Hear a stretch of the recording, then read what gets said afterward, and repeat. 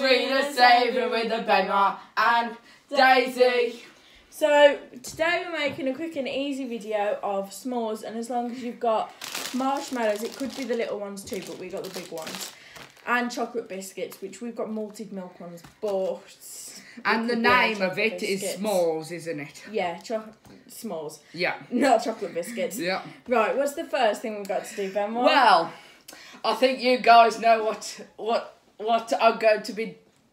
What I do every single video, which is wash, wash, wash your hands, wash, wash, wash your hands, wash, wash, wash your hands. So this basically is a five minute thing that you can do, which it's quick and easy to do for anybody needing a quick snack, although it can be quite sickly. And we're only going to do one instead of two, which you can do as many as you like, but they do get sickly, Yes. just as a warning. Right, open our chocolate biscuits. Would you like to Of get two course, biscuits? yes, I can do. Two biscuits, got it. Yeah, onto my plate. Can you put them out like that? Yes, of course, Daisy Dodd. Right, pick your marshmallow. Okay, right. Marshmallow. Okay, we can- well, two Put it- put actually. it- no, I'll just put it like that then. like that. Or I'll put it like that. No, how about like all that? Right. Okay. So you get your two marshmallows or as many Yes. as it needs to fill your chocolate biscuit. Yeah. Like Like that. And then you get your top of your the bit that's with the chocolate on. Mm. you put that facing the marshmallow. Okay. So you do that. You put it facing the marshmallow like we might that. have to stand our marshmallows up. Yeah. We might need to squash them in, I think, won't we? Or No, just keep we 'em- need to stand our marshmallows up. So you need to Yeah, you you This you then. sort that out. Right, now put that on top. So, we're going to put them in the microwave. yeah. So, I'll put yours in first. Okay, you do that then. Literally, we only have to put these in until you can either, for like 30 seconds, or until you can see the marshmallows like Defrost. expand. Oh no. One And word.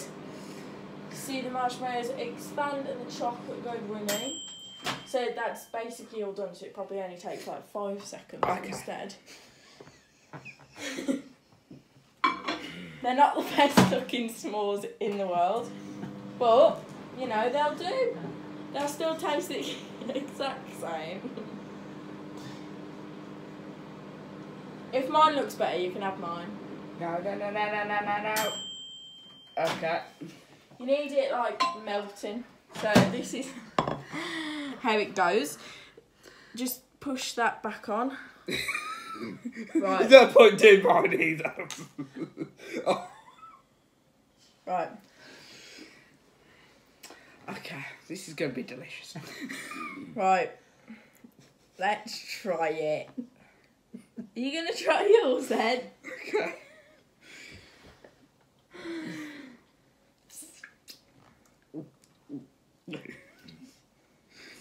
Okay.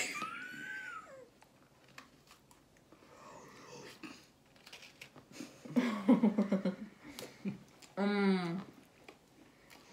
Delicious. And That's pretty much how you make them.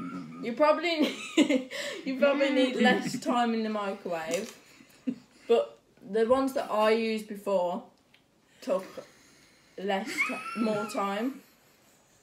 So if you get the little ones, then it takes less time.